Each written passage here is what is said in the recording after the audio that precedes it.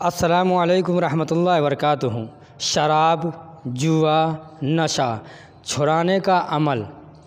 अगर किसी के घर में भाई या बाप या बेटा शराब, जुआ, नशा, इस चीज़ में मुबतला है, इस गुनाहों में फंस चुके हैं वो, इस चीज़ का आदि बन चुके हैं तो उनके लिए बहुत बेहतरीन अमल और वजीफ़ा लेके आप लोगों की खिदमत में हाज़िर हुए हैं। तो आप लोग हमारी वीडियो को आखिर तक देखें और इसका वजीफ़ा जो बताऊँगा बिल्कुल आसान है। घर के अंदर औरतें भी पढ़ सकती हैं या मर्द।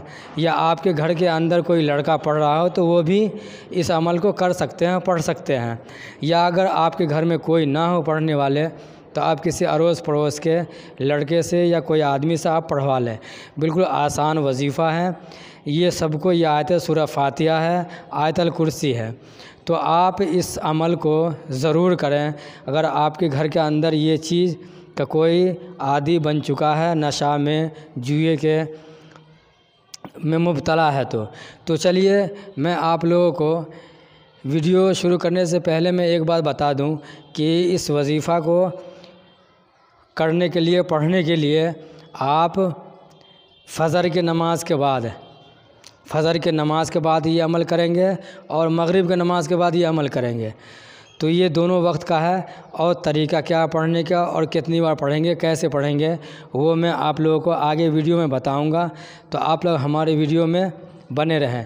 अगर हमारे चैनल पे आप नए हैं तो चैनल को सब्सक्राइब ज़रूर कर दें। तो चलिए मैं इसका तरीका मैं आपको बताऊँ। सबसे पहले आप फ़जर के नमाज़ से फ़ारिग हो जाएँगे आप तो उसके बाद ग्यारह बार दुरुज शरीफ पढ़ें।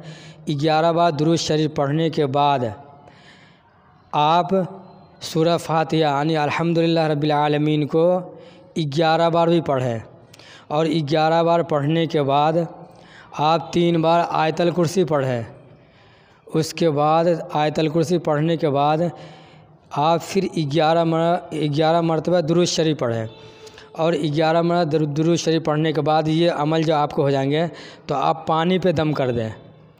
या खाने की कोई भी चीज़ पे आप दम कर दें।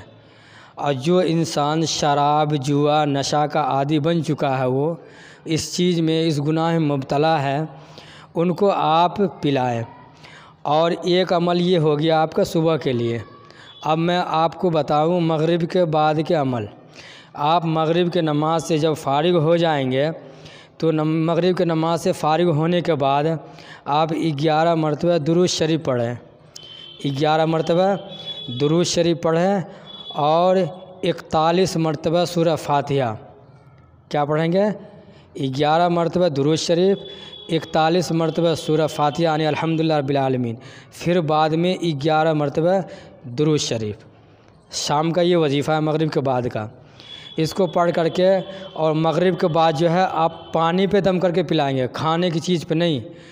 आपको खाने की चीज़ पे दम नहीं करना है। आप करेंगे पानी पे और सुबह में जो आप अमल करेंगे वो पानी पे या खाने की चीज़ पे।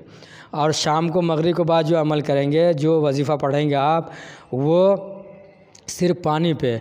तो यह मर्द हो या औरत हो, कोई भी इस अमल को कर सकता है, चाहे मर्द करे या औरत। या बच्चे से।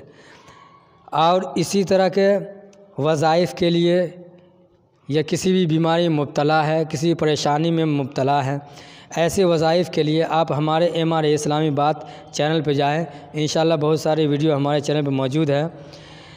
तो आपको वीडियो मिल जाएँगे उस पर आप उससे जो है सो वजीफ़ा निकाल के आप इसको अमल कर लें। तब तक के लिए खुदा हाफिज़। Next video